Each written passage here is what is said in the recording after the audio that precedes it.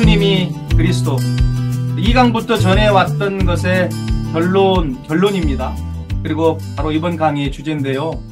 우리가 5강을 통해 메시아 그리스도의 예언과 언약에 대해서 살펴봤고 6강을 통해서 예수님의 삶에 대해서 살펴봤습니다. 예수님은 그리스도의 예언과 언약을 자신의 삶을 통해서 공성회를 통해서 십자가와 부활을 통해서 100% 하나님 뜻에 순종하심으로 모두 성취하셨습니다. 이 십자가의 대속이 어, 대표적인 것이 십자가의 대속의 죽음이었고 부활이었습니다.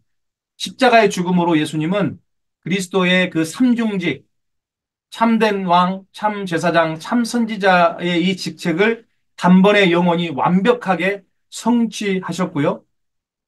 그것이 완벽하고 완전했기 때문에 바로 부활을 통해서 하나님의 아들로 선포되셨습니다. 부활은 바로 예수님의 십자가 대속의 죽음이 완벽했다는 확증이기도 합니다. 메시아 그리스도의 언약을 예수님께서 삶을 통해 온전히 성취하셨기 때문에 결론이 뭐냐? 바로 예수님이 그리스도라는 거예요. 한번 여러분 저를 따라서 한번 해보겠습니까? 화면 보시고 우리 시그니처가 있는데 제가 예수님이 그러면 여러분이 검지손가락을 이렇게 치켜 세워 들고 그리스도 크게 외치는 거예요. 세 번만 하겠습니다. 예수님이 그리스도 예수님이 그리스도 예수님이 그리스도 그렇지요. 아멘. 자, 여러분에게 묻겠습니다. 당연한 거지만 다시 한번 여러분 여러분의 신앙을 좀 확인했으면 좋겠어요. 예수님이 나의 그리스도 되시고 하나님의 아들 되심을 여러분 정말 믿습니까? 정말로 믿습니까? 정말로 믿습니까? 우리가 이 7강을 통해서 우리가 정말 제대로 제대로 된 영접을 시킬 필요가 있어요. 그동안 영접하면 너무 짧은 짧게 복음을 메시지를 전하고 제대로 된 그리스도의 의미도 설명하지 못한 채 왜 예수님이 그리스도인지도 설명하지 못한 채 영접 기도로 그냥 어, 지름길로 가버렸어요. 그런 사람들이 영접 기도했다고 단기 성교 갔다 와서 아 몇십 명 몇백 명이 어, 구원을 받았다고 말해요. 그런데 그 사람들 교회 안 나와요. 심각한 문제예요. 왜 그러한지 알아야 되죠. 왜 영접 기도를 한 사람들이 소수만이 예수님을 그리스도로 영접하고 대부분이 정말 그리스도로 예수님을 하나님의 아들로 믿지 못하는가? 그래서 영접에 대해서는 여러분 나중에 정말 제대로 좀 우리가 알 필요가 있는데 이런 과정을 우리가 거쳐서 정말 제대로 그리스도에 대해서 설명하고 하나님의 아들이 누구신지를 정말 가르쳐서 예수님이 누구신지를 알게 한 다음에 정말 그들이 인격적으로 정말 이 그리스도 예수 어, 메시아 아, 그리스도가 예수님이다라고 하는 그런 영접으로 이끌어야 될 거예요. 근데 여러분 우리가 정말 오늘날 우리 기독교인들의 신앙이 점점 유대교화 되어진다고 하는 느낌이 들 때가 많습니다. 도대체 무슨 말인가? 유대교화 된다. 유대, 유대인들의 신앙이 어떠했는지를 살펴보면 알 수 있어요. 자, 당시 메시아 그리스도를 그렇게 대망하고 간절히 기다리고 있었던 이스라엘 백성들. 사마리아 여인까지 비천했던 사마리아 여인도 알고 있었던 대망했던 그 메시아 그리스도. 근데 그 사람들은 예수님을 도대체 어떤 분으로 알고 어떻게 믿고 있었을까? 우리가 그것을 통해서 우리 신앙을 한번 그리고 오늘날의 신앙들을 점검해 봤으면 좋겠습니다. 자, 마태복음 16장 13절 16절 같이 읽습니다. 시작. 예수께서 가이사랴 빌립보 지방에 이르러 제자들에게 물으시되 사람들이 인자를 누구라 하느냐? 이르되 더러는 세례 요한 더러는 엘리야 어떤 이는 예레미야나 선지자 중에 하나라 하나이다. 이르시되 너희는 나를 누구라 하느냐? 시몬 베드로가 대답하여 이르되 주는 그리스도시요 살아계신 하나님의 아들이시니이다. 아멘. 지난번에도 말씀드렸지만 예수님께서 공생의 사역이 끝나가는 이제 십자가를 지러 예루살렘에 들어가야 돼야 되는 그 시점이 다가오는 어느 시점에 가이사라 빌립보 지방의 제자들과 함께 이르렀습니다. 복음서 전체를 봐도 주님께서 어떤 사역을 했다는 기록을 찾아볼 수가 없어요. 그런데 그 도시에서 도시는 여러분 이름에서도 알 수 있듯이 왕의 도시, 왕의 휴양 도시입니다. 가이사라 빌립보는 BC 20년경에 로마 황제 케사르 아우구스토가 헤롯 대왕에게 하사한 이스라엘 최북단 헐몬산 발치에 위치한 휴양 도시였습니다. 그 후에 헤롯 대왕의 아들 분봉아 분봉왕이었던 헤롯 빌립이 헤로드 빌립이 자신의 수도를 정하면서 로마 황제 이름인 가이샤라 케사르의 이름을 붙여서 가이샤라 빌립보 빌립보 가이샤라라고 명명했어요. 그 왕들의 도시에서 예수님은 의미심장한 질문 하나를 제자들에게 던져요. 사람들이 나를 누구라 하더냐? 제자들이 대답합니다. 너로는 세례 요한, 엘리야, 예레미야, 선지자 중에 하나라 합니다. 그때 예수님은 다시 한번 핵심 질문을 제자들에게 던집니다. 그러면 너희는 나를 누구라 하느냐? 제자들이 꿀 먹은 벙어리처럼 대답하지 못할 때 시몬 베드로가 나서서 이렇게 대답합니다. 주는 그리스도시요 살아계신 하나님의 아들이시니다. 아멘. 예수님은 이 베드로의 고백을 듣고 너무너무 기뻐하셨고 엄청난 축복을 선언하세요. 우리 지난 시간에 교회의 본질, 교회의 사명에 대해서 이야기할 때 특강 시간에 여러분 어떤 축복을 받았는지 음부의 권세가 이기지 못하고 여러분 뭐라고 그랬어요? 이 고백에 어, 주님의 교회를 세우고 이 교회를 음부의 권세가 이기지 못하고 천국을 열 수 있는 어, 하늘 문을 열 수 있는 그 키를 주겠다고 말씀 축복하시잖아요. 이 왕의 도시에서 이 본질적 질문을 던지시는 이유가 뭘까? 베드로의 고백과 같은 답을 듣기를 원하신 거예요. 3년 공생의 반 동안 제자들과 함께 하시면서 바로 마지막 결론이 뭐냐? 이 대답을 제자들로부터 이 신앙 고백을 듣기를 바라셨던 거예요. 십자가의 죽음 앞에서 죽음을 앞두고 제자들에게만큼은 자신이 누구인지를 정확하게 알려주고 싶었던 거죠. 로마 황제가 당시 로마 황제가 구세주가 되고 그리스도가 되고 있던 그 시절 아닙니까? 그 왕의 도시에서 주님은 진정한 그리스도, 메시아, 그리스도, 참된 주가 누구인지를 제자들에게 밝히고 싶었을 것입니다. 너희들이 구주로 왕으로 섬기는 자들을 봐라. 그들이 너희를 진실로 구원하는 구세주가 맞냐? 세상의 왕들을 봐라. 너희를 정복하고 억압하고 착취하고 죽이는 자들이 아니냐?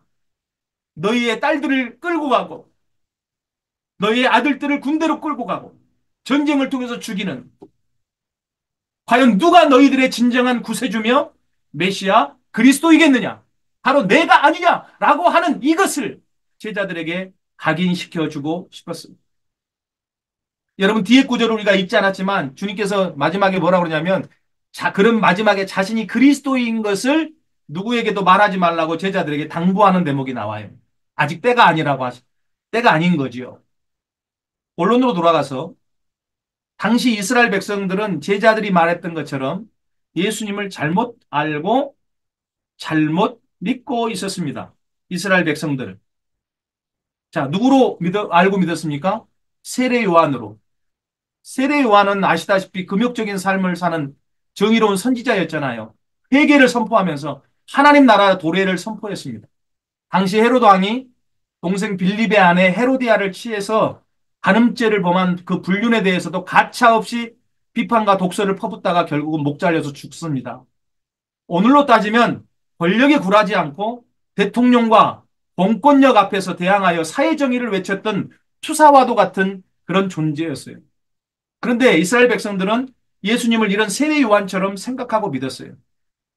예수님도 종교 정치 지도자와 권력자들을 향하여서 이 독사의 자식들, 여러분 사탄의 자식들이래요. 하나님을 잘 믿고 있는 그들한테 이 사탄의 새끼들아 이렇게 욕설을 독설을 퍼붓다니까요.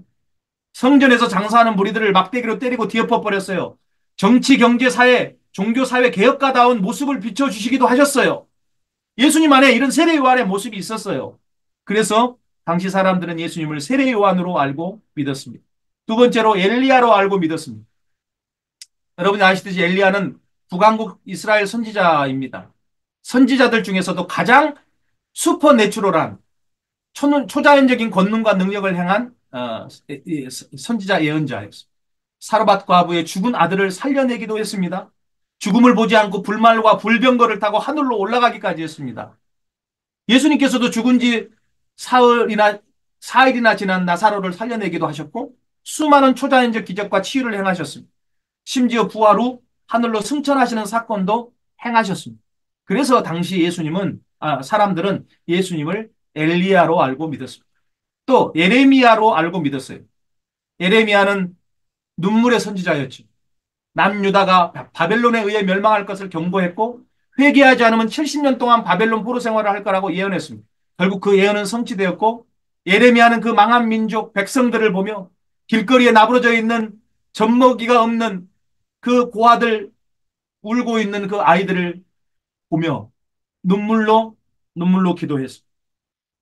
하나님의 말씀을 전했던 그런 긍휼이 많았던 선지자 눈물의 선지자. 그래서 그가 에레미야 애가 슬픈 노래를 지은 거죠. 패망한 이스라엘을 향한 에레미야의 그 슬픔, 눈물, 백성들에 대한 그 긍휼의 마음을 절절히 느낄 수 있는 시가서 중에 한 책입니다. 예수님께서도요. 주님의 말씀을 듣기 위해 치료받기 위해 예수님을 따랐던 그 유리하는 백성들을 보고 불쌍히 여기셨고 오병이어의 기적, 칠병이어의 기적도 일으키셨고 나인성 과부의 아들이 육자 그 과부를 불쌍히 여겨서 아들을 살려주시기도 했고 친구 나사로의 죽음을 애통해 하시면서 눈물을 흘리시기까지 했고 나사로를 살려주셨습니다. 그래서 당시 사람들은 그런 예수님의 모습을 통해서 예레미야로 알고 믿었습니다. 또 예수님을 옛 선지자 중 한 사람으로 알고 믿었습니다. 하나님의 사람들, 참 선지자들은요, 그 가르치는 것이 바리새인과 같은 일반 종교 지도자들이나 관료들과 같지 않았습니다. 그들의 가르침은 백성들의 마음을 시원하게 했고 말씀의 능력과 권세가 있었어요. 예수님의 가르침이 마치 권위 있는 자 같고 서기관 바리새인 율법학자 같은 종교 정치 지도자들과는 같지 않았습니다. 그래서 사람들은 예수님을 옛 선지자 중에 한 사람으로 생각했습니다. 그러나 여러분 이렇게 일부분만 보고 편향적으로 믿는 것은 예수님을 올바로 보지 못하는 것이고 온전히 믿지 못하는 것입니다. 일부분만을 보는 것이고 그것이 전부라고 믿는 것은 잘못된 믿음입니다. 또는 자신이 보고 싶은 것만 보고 믿고 싶은 대로만 믿는 자기 중심적 믿음이에요. 정말 이거 조, 조심하고 주의해야 되는데 여러분 내가 믿고 싶은 대로 믿고 사는 거예요. 당신들이 믿고 싶은 대로 믿고 사는 거예요. 자기가 믿고 싶은 대로 믿는 거. 여러분 그렇게 믿으면 구원이 있습니까? 내가 믿고 싶은 대로 믿어. 구원이 있습니까? 자, 세례 요한이 십자가에 달려 죽음으로 우리를 의롭게 해주셨습니까? 엘리야가 십자가에서 그 엄청난 능력으로 사탄의 문제, 죄의 문제, 하나님의 단절의 문제를 끝장냈습니까? 에레미야나 옛 선지자, 그 선지자가 십자가에서 나를 위해 대신 눈물을 흘려주셨습니까? 심지어 카톨릭 국가에서는 너무 이거 중요해요. 이 질문이. 예수님의 어머니 마리아가 십자가에서 조건 없는 사랑으로 인류를 중보하시면서 하나님과 죄인을 화목하게 하시고 화목하게 하시는 그런 은혜를 우리에게 베풀어 줬습니까? 아니잖아요. 오직 예수님만이 나의 죄, 여러분의 죄, 우리 죄를 대신해서 십자가의 죽으심으로 우리를 의롭게 해주셨고 근본적인 문제들을 끝장내 주셨고 눈물 흘려 주셨고 한량없는 대속의 은혜를 베풀어 주셨습니다. 죽으셨을 뿐만 아니라 영생에 대한 소망을 우리에게 주시기 위해서 하나님의 능력으로 부활하셨습니다. 그렇게 예수님은 그리스도가 되셨습니다. 하나님의 아들이 되셨습니다.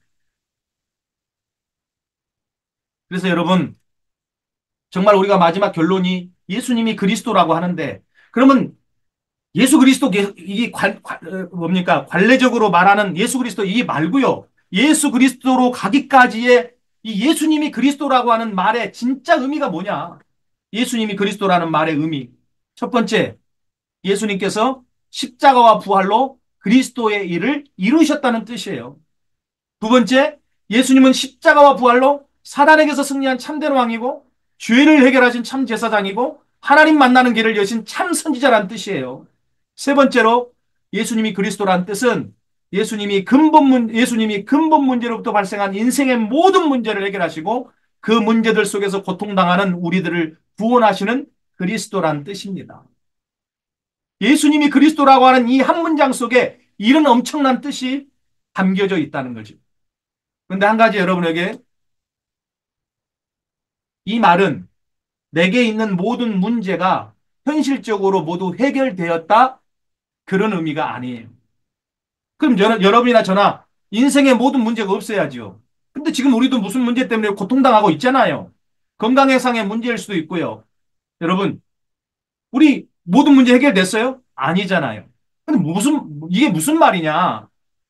예전에, 나중에 다시 한번 설명하겠습니다만은 우리 성도들의 삶에 대해서 이야기할 때 예전에 큰 문제로 여겨졌던 것들, 문제로 여겨졌던 것들이 이제는 더 이상 문제가 되지 않는 그런 믿음의 차원. 그래서 모든 문제가 해결되고 그 고통에서 구원을 받았다는 것을 의미합니다. 어린아이 같은 유아적 믿음이 아니가, 아니고 그리스도의 장성한 분량의 신앙을 가졌다는 의미예요. 예전에는 높아 보였던 그 산이 이제는 내가 그 산에 올라가서 보니 내 발밑에 있는 거예요. 문제가 더 이상 문제가 되지 않는 믿음이에요. 그리고 예수님이 그리스도라고 하는 말은 예수님이 하나님의 아들이시다 하는 뜻입니다. 아까 우리 시몬 베드로가 주는 그리스도시요 살아계신 하나님의 아들입니다 고백했지요. 유대인들도요 메시아 그리스도를 믿어요. 응? 메시아를 그들이 해석할 때 기름 부음 받은 자라고 해석하고 왕과 제사장과 선지자의 역할을 하시는 자라고 믿어요. 하나님의 보내신 자라고 믿어요. 해석해요. 그런데 문제는 뭔지 아세요? 하나님의 아들로 인정 안 해요. 철저히 인간임을 강조합니다. 인자, 인자, 하나님의 아들이 있고 사람의 아들이 있는데 사람의 아들로서만 그리고 다윗의 왕권을 이 땅에 가지고 올 정치적 메시아로 해석해요. 하나님께서 보내신 분 맞지만 하나님의 아들일 수 없다고 절대 없다고 믿어요. 그래서 대제사장이 예수님을 마지막 십자가에 달려 달아 죽이기 직전에 두 가지 질문을 하죠. 네가 그리스도냐? 두 번째, 네가 거룩하신 이의 아들이냐? 하나님의 아들이냐? 이렇게 물어요. 예수님이 거기에 예라고 대답하죠. 네가 말했다 이렇게 말하죠. 이두 가지 때문에 예수님이 죽어요. 십자가에서. 그러니까 여러분 이들의 질문 속에서 우리가 얼, 뭐가 중요한지 알, 알겠잖아요. 그리스도라고 하는 게 너무 중요하고 하나님의 아들이라는 게 중요하다는 거예요. 이거를 베드로가 고백했다고요. 주는 그리스도시요 살아계신 하나님의 아들이십니다. 바요나 시몬아 네가 복이 있다. 내가 이 베드로 이 반석이에 내 교회를 짓겠다고 축복하시잖아요. 주님의 교회는 그 믿음의 고백이 세워지는 거예요. 다른 어떤 걸로도 여러분 주님의 교회는 세워지지 않아요. 그러니까 여러분이 진정한 주님의 교회라고 한다면 바로 예수님이 그리스도 살아계신 하나님의 아들입니다란 이 고백이 반드시 있어야 되는 거고 확실한 이 믿음의 고백이 여러분의 목에 칼이 들어와도 이 믿음의 고백을 배반해서는 안 된다는 거죠. 여러분 정말 우리가 어, 성부 성자 성령 삼위일체 하나님을 믿고 있고 어, 하나님의 아들 메시아 그리스도이심을 예수님이 메시아 그리스도이심을 믿습니다. 예수님이 살아계신 하나님의 아들이 되신다는 확실한 증거는 아까도 우리 어, 읽었지만 성령으로 잉태되었고 동정녀로 탄생했고 죄 없는 자로 탄생했어요.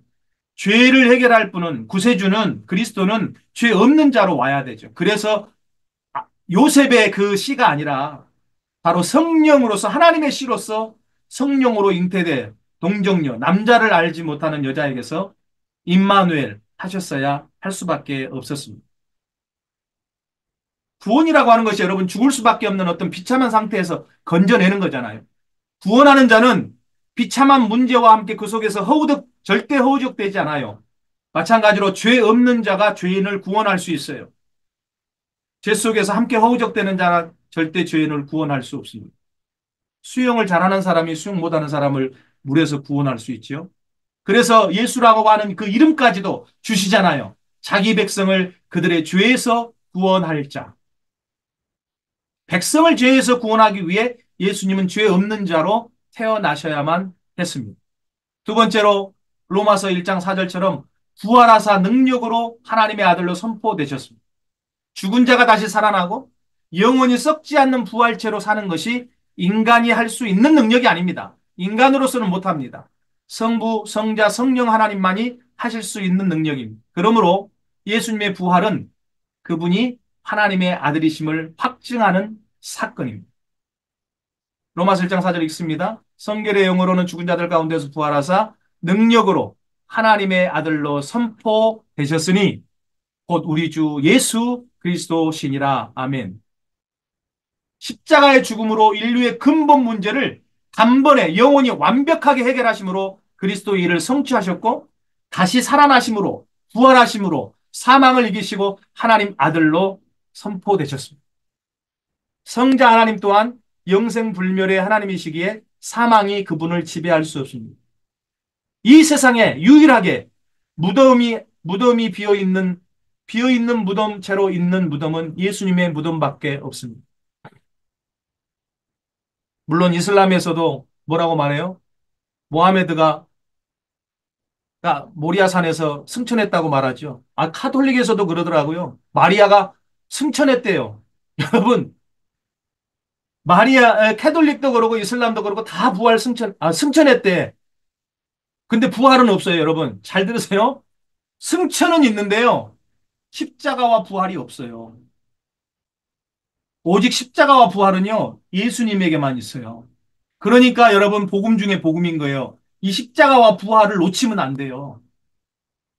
십자가가 없이는 죄 문제를 해결할 수가 없어요. 하나님의 공의, 절대 공의를 성취할 수가 없는 거죠. 하나님의 절대 사랑도 성취할 수가 없는 거죠. 그게 십자가의 신비예요. 사도 바울은 그 신비를 알았어요. 그래서 내가 오직 예수님께서 십자가에 못 박히신 것과 그리스도를 아는 것 외에 다른 것을 알기로 작정하지 아니했다고 고백하잖아요. 최초에는 그도 철학적으로 여러분 뛰어난 사람이었기 때문에 철학적인 논쟁을 했어요. 그러나 논쟁을 가지고 해결할 수 없다는 것을 알았어요. 그래서 이 고백을 한 거예요. 그래서 내가 세상 학문을 초등 학문으로 여기고 해설물로 여긴다 그러잖아요. 오직 내가 예수님의 십자가에 그리스도의 십자가에 못 박히신 것과 그리스도를 아는 것 외에는 다른 것을 알지 않기로 작정했다. 여러분 이 고백이 우리의 고백이 되어야 돼요. 사도 바울만의 고백이 아니고 우리 믿음의 고백이어야 된다. 영원히 죽지 않고 썩지 않을 부활체로 부활하신 것 바로 예수님이 하나님의 아들이심을 확증합니다. 그래서 그리스도이신 예수님은 하나님의 아들이십니다.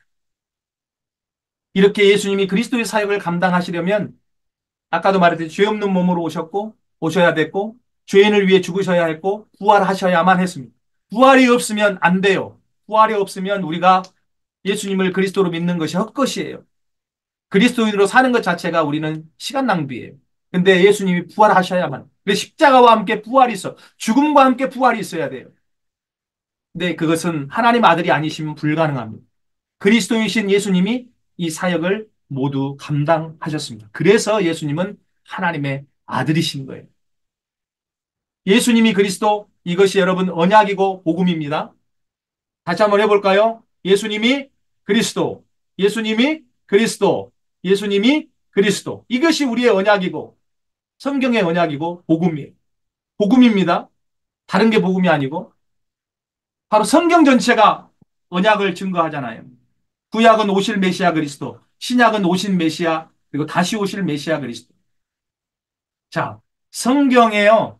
이 복음에 대해서 정확하게 표현하고 있는데, 자, 로마서 1장 2절 4절을 큰 소리로 읽습니다. 시작. 이 복음은 하나님이 선지자들을 통하여 그의 아들에 관하여 성경에 미리 약속하신 것이라.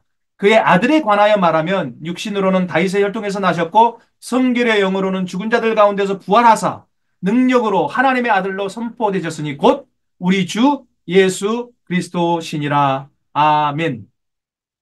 빨간 어, 여러분 글자만 한번 어, 집중해 보세요. 복음이 뭐예요? 그의 아들, 하나님의 아들에 관한 거예요. 근데 이게 성경에 미리 약속된 거예요. 근데 그 아들이 뭐에 관한 거냐면 부활하셨다. 죽은 자들 가운데서. 그리고 하나님의 아들로 선포되셨다. 그분이 누구냐? 우리 주 예수 누구요? 그리스도. 한 문장으로 줄여볼까요? 이 복음은 예수님이 하나님의 아들 그리스도라는 것입니다. 그래서 사도들은요, 사도행전 5장 42절 같이 읽습니다. 그들이 날마다 성전에 있든지 집에 있든지 예수는 그리스도라고 가르치기와 전도하기를 그치지 아니하니라 그랬습니다. Day after day, in the temple court and from house to house, they never stopped to teach teaching and proclaiming the good news that Jesus is the Christ. The good news, 가스펠이 뭐예요? Jesus is the Christ라는 거. 사도들과 제자들, 초대교회 성도들은 이것을 알았어요. 여러분, 우리 교회가 해야 될 일이 뭡니까? 여러 가지 일이 있지만 최고, 최선으로 해야 될 일이 뭡니까? 바로 예수님이 그리스도라는 것, 하나님의 아들이라는 것을 전도하는 일이에요. 가르치는 일이에요. 선포하는 일이에요. 왜 이거를 뒤에다 차선으로 밀어두고 최선이 아닌 것들에 힘을 쏟습니까? 그러다가 우리가 주님 만나면 무슨 소리 할 수 있어요? 바빴다고 말할 수 있어요? 내 인생 사느라고? 그런데 여러분 이제 마지막 말씀 전합니다. 그런데 이 복음은요. 계시로만 알 수 있대요. 여러분 이게 우리가 지금 1강부터 6강까지 쭉 말하고 7강을 말했잖아요. 그런데 중요한 건 뭐냐면요. 이거를 알 수, 이걸 깨닫는 것은 계시의 차원이래요. 이거를 가르쳐 주고 선포한다고 해서 지식이 있고 똑똑한 교수가 여러분 다 예수님을 그리스도 하나님의 아들로 받아, 받아들일 수 없다는 말이에요. 모든 사람의 이 복음은 모든 사람을 위해서 있지만 모든 사람들의 것은 아닌 거예요. 하나님께서 예수님에게 주신 자들만 이 복음을 알고 깨닫고 믿어요. 베드로처럼. 이를 너에게 알게 하신 일은 내 혈육이 아니다 말이에요. 하늘에 계신 내 아버지께서 이것을 너에게 알게 하셨구나. 이 계시적 차원이라는 거죠. 마태복음 16장 17절 읽습니다. 예수께서 대답하여 이르시되 바요나 시몬아 네가 복이 있도다. 이를 너에게 알게 하니는 혈육이 아니요 하늘에 계신 내 아버지이시니라. 계시를 받은 자만 하나님 아버지를 알 수 있고 복음을 알 수 있어요. 그리스도가 예수님인 것을 알고 믿을 수 있다는 말이에요. 자, 마태복음 21장 27절 시작. 내 아버지께서 모든 것을 내게 주셨으니 아버지 외에는 아들을 아는 자가 없고 아들과 그 또 아들의 소원대로 계시를 받은 자 외에는 아버지를 아는 자가 없느니라. 자, 누가복음 같은 말씀이고요. 여러분 그렇게 하나님을 잘 믿는다는 유대인들이요. 하나님 말씀을 그렇게 달달달 외우는 그 바리새인들 그 사람들이 왜 그리스도로 오신 하나님의 아들로 오신 그 메시아 그리스도 그렇게 간절히 기다렸던 그들이 그 메시아 그리스도를 여러분 영접하지 못하고 외면하지 못하고 십자가에 외면하고 십자가에 못 박아 죽여버려요. 아이러니 하잖아요. 자, 이 복음은 그래서 신비의 계시를 따라댔습니다. 로마서 16장 26절 시작. 이제는 나타내신 바 되었으며 영원하신 하나님의 명을 따라 선지자들의 글로 말미암아 모든 민족이 믿어 순종하게 하시려고 알게 하신 바 그 신비의 계시를 따라 된 것이니 예, 이 복음으로 너희를 능히 경고케 하실 신비의 계시를 따라 된 것이 이 복음이에요. 자, 이 복음은 오직 예수 그리스도의 계시로 말미암은 것입니다. 갈라디아 1장 12절 시작. 이는 내가 사람에게서 받은 것도 아니요 배운 것도 아니요 오직 예수 그리스도의 계시로 말미암은 것이라. 사울이 그리스도인들을 핍박하고 잡아가두기 위해 다메섹 다마스커스로 가던 도중에 예수님을 빛 가운데 만났습니다. 바울이 해심 후에 너무나 혼란스러웠던 그가 아라비아 사막에 들어가서 사도들을 만나지 아니하고 약 3년 동안을 머물러요. 그곳에서 영적인 눈이 열리고 그동안에 그의 눈에 씌웠던 모든 허물이 벗겨집니다. 잘못되어진 그 그리스도에 대해서 잘못되어져 있던 모든 허물이 벗겨져요. 그리고 하나님의 말씀이 계시되고 깨달아지는 과정을 거칩니다. 그때 바울은 이렇게 고백해요. 누구로부터 하나님 말씀과 복음에 대한 가르침을 받지 않았다. 사람에게서 받은 것도 아니고 배운 것도 아니다. 오직 예수 그리스도의 계시로 그가 진리와 복음을 깨달은 것은 오직 예수 그리스도의 계시로 말미암았다 고백합니다. 여러분 믿음이 계시될 때까지는요. 우리가 율법 아래 메인 자가 될 수밖에 없어요. 갈라디아서 3장 23절 믿음이 오기 전에 우리는 율법 아래에 메인바 되고 계시될 믿음의 때까지 갇혔느니라. 그리고 지혜와 계시의 영, 성령을 받지 않고는 하나님을 알 수 없습니다. 그리스도 알 수 없습니다. 에베소서 1장 17절. 우리 주 예수 그리스도 하나님 영광의 아버지께서 지혜와 계시의 영을 너희에게 주사 하나님을 알게 하시고 여러분 이 말은 무슨 말이냐면 지혜와 계시의 영 성령을 받지 못하면 성령이 임하시지 아니하면 하나님을 알 수 없어요. 성부 하나님, 성자 하나님, 성령 하나님 알 수 없어요. 여러분 육의 일은 육이 안다고 했고 영의 일은 영이 알고 분별합니다. 오늘 많은 교회들이 그리고 많은 크리스찬들이요 예수님을 마치 어, 사회 정의를 외치는 자로만 알고 믿는 사람들도 많습니다. 학생운동 출신들, 여러분 사회운동가들, 또 성령의 은사 사역자들은 예수님을 또 엘리야로 믿고 강조하는 경우가 많아요. 무조건 치유, 기적만을 또 강조해요. 방언 못하면 또 믿음이 없다고 또 생각하고 말하고 이래, 이래요. 정죄해요. 여러분 성령의 은사는 하나님의 필요에 따라서 각 사람에게 필요에 따라 나눠주시는 거지. 모든 사람이 방언하고 모든 사람이 통변하고 그래요? 성경이 그렇게 말씀하고 있잖아요. 정확하게. 모든 사람이 똑같은 은사를 받고 있어요? 아니요. 다 다양한 은사를 갖고 서로 합력해서 머리 대신 교회의 머리 대신 그 주님을 중심으로 우리는 그분의 손발이 교회의 지체로서 그 교회의 덕을 쌓아가는 거잖아요. 하나님의 영광을 드러내고. 그것을 위해서 은사가 필요한 것. 근데 은사론자들은요, 아, 엘리야의 그 예수님만 강조해요. 그것이 안 일어나면 믿음이 없다고 생각하고 또 구원이 없다고 생각하는 사람들도 있어요. 심지어 예수님을 예레미야, 뭐 NGO 단체, 백성들을 궁일이 여기고 구제하고 봉사하는 일을 여러분 물론 해야죠. 착하고 선한 일이니까 하나님의 영광을 위해서 여러분 우리가 착하고 선한 일 많이 해야 됩니다. 그런데 여러분 교회 와서 구제만 하면 그런 예수님으로만 믿으면 예레미야처럼 그렇게만 믿으면 우리에게 구원이 있나요? 아까도 말씀드렸듯이 십자가와 부활이 빠져버리면 여러분 우리의 구원과 상관없어요. 예수님 안에 세례 요한의 모습, 엘리야의 모습, 여러분 예레미야나 선지자 중에 한 사람의 모습이 다 있어요. 여러분 그것 우리가 해야 돼요. 치우치지 말고. 그러나 십자가와 부활은 없다고요. 오직 예수님만이 십자가와 부활 그 사건의 주인공이세요. 우리의 죄가 얼마나 심각했길래 예수님이 십자가를 져야만 했냐? 하나님이 십자가를 지고 죽어야만 했는가를 생각해 보세요. 근데 우리가 그 십자가를 무용지물로 만드는 신앙을 가지면 되겠습니까? 예수님을 다시 십자가에 못 박는 신앙을 가지면 되겠습니까? 하나님께 영광 돌리지 못하는 인생을 살아서야 되겠습니까? 오늘 우리 교회 안에 신앙들이 여러분 자신이 교회인데 내가 교회인데 우리가 어떻게 예수님을 생각하고 있었는지를 한번 이 시간 돌아봤으면 좋겠어요. 그리고 정말로 하나님의 은혜로 성령이 아니시면 예수님을 주라고 시인할 수 없는데 그리스도로 하나님의 아들로 시인할 수 없고 믿을 수 없는데 우리가 성령의 성령의 은혜로 하나님의 은혜로 우리가 예수님을 그리스도 하나님의 아들로 믿고 고백하고 구원받은 존재가 됐다고 하는 것이 얼마나 이게 여러분 이게 감동으로 와야 돼요. 우리 나에게 이게 엄청난 감동으로 와야 돼요. 이것만으로도 다른 어떤 것이 아니에요. 예수님은 하나님은 우리에게 모든 것을 다 주셨잖아요. 목숨까지도 줬잖아요.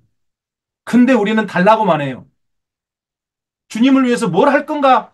이렇게 기도해야 되는데 아버지의 뜻이 무엇입니까? 어떻게 아버지의 뜻을 이루고 살까요? 이거를 기도하면서 응답받고 아버지 뜻에 절대 순종하면서 살아야 되는데 주구장창 어린애처럼 젖 먹는 어린애처럼 달라고만 기도하고 있어요. 하지 말라는 거 아닙니다. 예수님께서도 일용할 양식을 달라고 주기도문에 기도하라고 했으니까. 그런데 일용할 양식 필요 없는 것들을 향해서 엄청난 기도를 하는 거예요. 수능 얼마 100일 남겨놓고 100일 기도할 때는 새벽 기도회가 꽉꽉 차는데 수능 끝나자마자 새벽 재단이 썰렁해지는 일들. 이게 도대체 무슨 일이냐 그 말이. 이렇게 해야 되느냐 그 말이죠. 무슨 말인지 여러분 이해할 수 있기를 바랍니다.